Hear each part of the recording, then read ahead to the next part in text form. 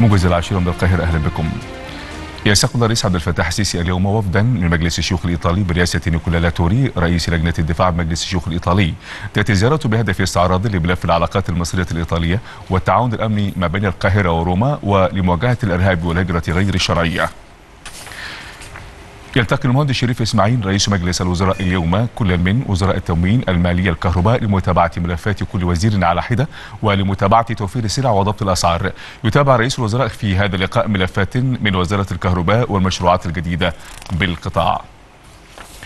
أصدرت الدول الأربع الداعية لمكافحة الإرهاب بيانا مشتركا. أكدت فيه أن الوثائق التي نشرتها شبكة سي إن إن الإخبارية الأمريكية تؤكد بما لا يدع مجالا للشك تهرب قطر تنظيم الحمدين من الوفاء بالتزاماتها وانتهاكها الكامل لما تعهدت به. وقد شددت الدول الأربع على خرق قطر لاتفاق الرياض لعام 2013 وآلية تنفيذه وخرقها لاتفاق الرياض التكميلي لعام 2014 مشيرة إلى أن المطالب الثلاثة عشرة قدمت الحكومة القطرية. جاءت متوافقة مع بنود اتفاق الرياض.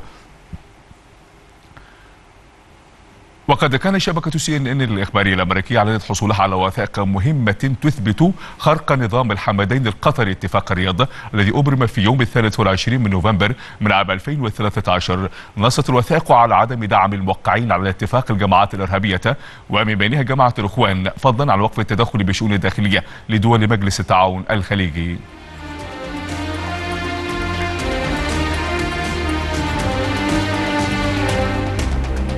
نهاية موجز الأخبار. شكرا لكم إلى الملتقى